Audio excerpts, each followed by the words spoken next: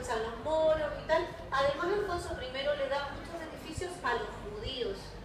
Entonces los judíos, por ejemplo, no pagaban impuestos. Los judíos eran los que llevaban mucho el comercio, de las transacciones en todo el esplendor que tenía Tudela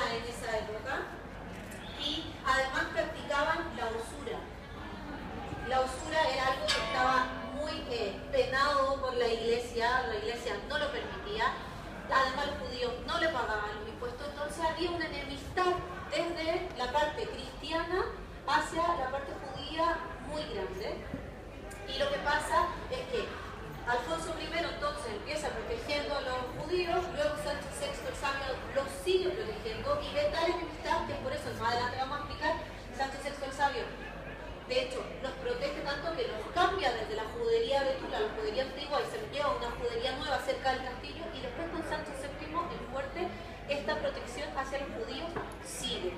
Entonces un poco, mientras todo esto sucedía, la iglesia hacía este pórtico que cuando se diera luz, y que de hecho cuando se dio a luz ocurrió una matanza de judíos muy grande porque además